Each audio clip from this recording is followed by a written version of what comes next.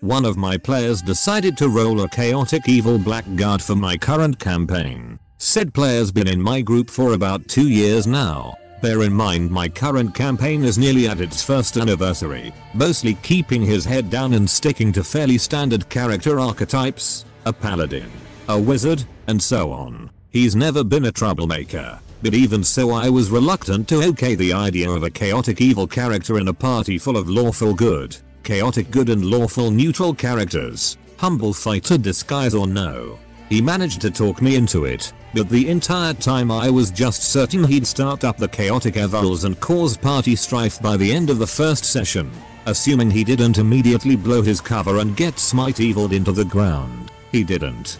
In fact, in character, no one in the party has realized his true alignment yet, and as, as I mentioned it's been nearly a full year of at least B monthly sessions so far. In fact, he's probably done more good so far than the rest of the party combined. Sounds like it's motherfucking story timer. It started off all the way at the beginning of the campaign, when the secret Blackguard teamed up with the party paladin to prevent our cleric and ranger from killing young kobolds after the party had to clear out a den of them in search of a local treasure. After talking the rest of the party down the two helped the kobolds escape into the wilderness, pointing them away from the nearby towns and their guards. The paladin of course certain that the kobolds would learn from this act of mercy and avoid attacking people in the future. The blackguard in character agreed with the paladin, while explaining to me that he reasoned most of the young would likely die before they found shelter, and the few strong survivors would be out for revenge and would eventually terrorize the surrounding area once they built up their numbers.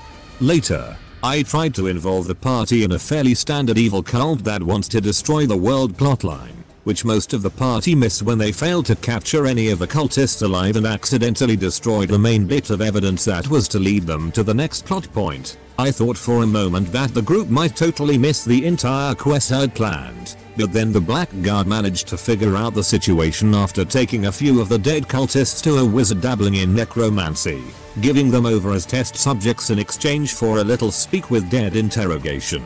In fact, he skipped over a part of the plotline I'd planned, preventing a local nobleman's daughter from being kidnapped by the cult entirely, instead learning the location of the cult's hidden temple directly rather than having to pursue the cultists as part of a rescue mission. Rather than take this info to the party, however, he urged the party paladin to take everyone else bandit hunting while he wrapped up some family business in town. While most of the party went off doing their own thing, the Blackguard proceeded to infiltrate the cult by posing as a champion of the cult's fake, evil god and presiding over their human sacrifice, and derailed their kidnapping plans by declaring that their god didn't want a virgin sacrifice. Besides, their intended target had already been deflowered by the half-elf ranger, Little surprise there, but rather the blood of his most fervent followers. The cult leader, who'd started things up just to shill money but got caught up in the mood himself before he realized it, protested, but was quickly torn apart by his former followers before they all rushed to poison themselves in the name of their god. The Blackguard then delivered their bodies to his new secret necromancer cohort, earning his loyalty, and preventing the Baron's daughter from ever being kidnapped in the first place. When I questioned the Blackguard why he, a chaotic evil character, had done all this without even involving the party in it, which would have been reasoned as merely him maintaining his cover, he pointed that now he and he alone, with the possible exception of his now lie necromancer if he chose to interrogate the dead cultists as well, knew the location of the cult's former lair, which he could use as a base of operations for later schemes if he so chose, and besides, wasn't it fitting of a chaotic alignment to interfere in other evil factions plans if they didn't match up with his own goals it hasn't ended there.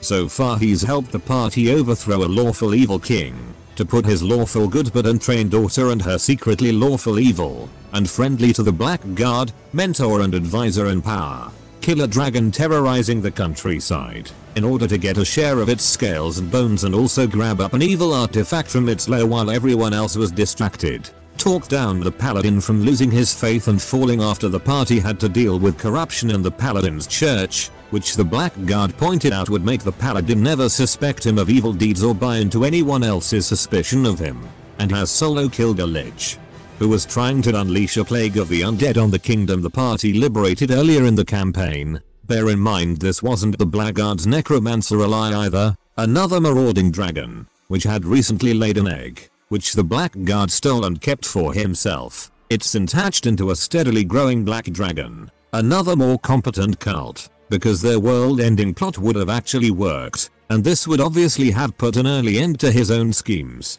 and an orc warlord who was plotting an invasion of a peaceful coastal duchy. He killed the warlord in single combat, claimed command of the orcish host, and ordered them back into the mountains to prepare for the day when he returned with a full grown dragon to lead them all while keeping the party at large distracted with other matters. Out of character of course everyone all know what's going on, but in character none of the party even suspect that he's anything other than the most lawful good hero of a fighter to have ever lived. I'm not sure if he's doing chaotic evil wrong, or if everyone else is. The latter. He is doing chaotic evil right. In a Machiavellian way. The only way to do chaotic evil right. Bring down power systems and prepare your own. And when the time comes, bam total world destruction and all the loot. And perhaps lichdom.